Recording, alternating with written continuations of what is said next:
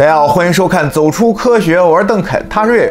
这两天刷央视《今日说法》时，突然看到了二月十五日最新一期，名为《央宗回家》，讲述一个女孩被骗离家乡，成为他人生育工具，屡遭家庭暴力，最终凭记忆回到家乡的故事。央视啊，突然讲了这样一个故事，不知道是巧合还是有意为之，总之令我非常震撼。今天就说给大家听。二零二零年十二月，内蒙包头市。月月，你怎么在这里睡着了？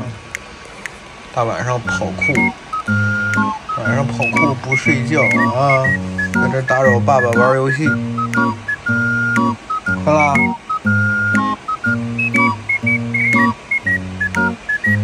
月月真好看，小狮子。咦，爸爸一脚踹死月月，踹死月月。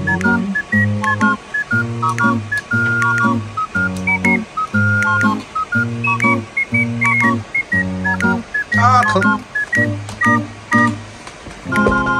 抱抱月月，